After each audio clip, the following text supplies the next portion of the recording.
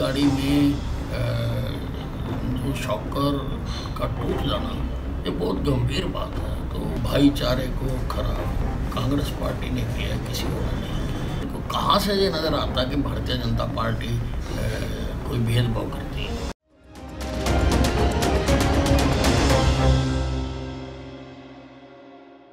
कई देशों में कोरोना फिर से कहर बरपा रहा है, खासकर चीन में। हालाँकि कोरोना चीन की ही देन है।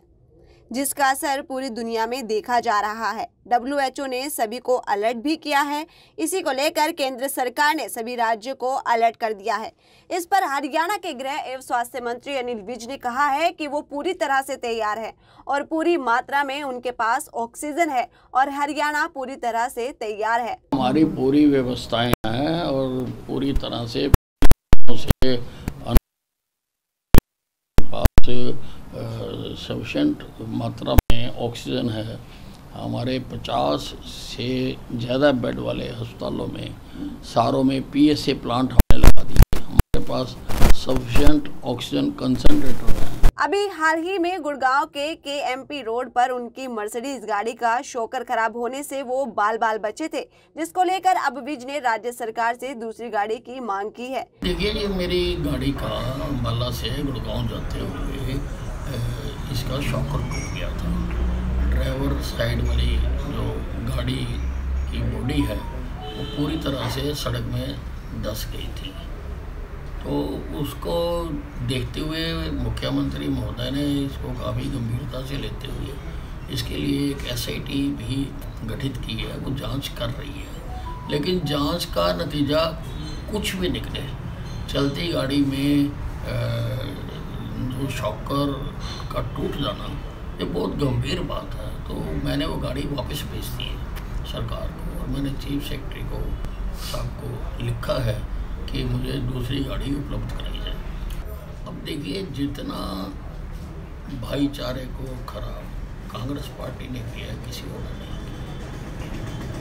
भारतीय जनता पार्टी तो सबको साथ लेके चलती है। पहले दिन से प्रधानमंत्री कह रहे हैं कि सबका साथ, सबका विश्वास विश्वास को नारे को लेके वो चल रहे हैं।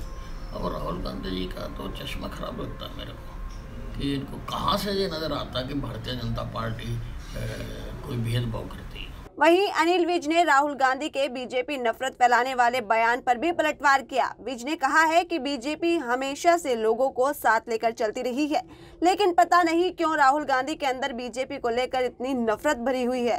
अंबाला से विपिन भाटिया की रिपोर्ट। खास खबर हो या सवाल आपका, हम दिखाएँगे आपको विश्वसनीय खबर। इसीलिए हमारे सभी पेजों को करे लाइक, शेयर, सब्सक्राइब, ताकि सभी अपडेट आपको मिले सबसे आगे, सबसे पहले। खबर की धड़कन समझते हैं हम। हालात की संजीदगी जानते हैं हम। एहसास है, देश और दुनिया देख रही है हमें।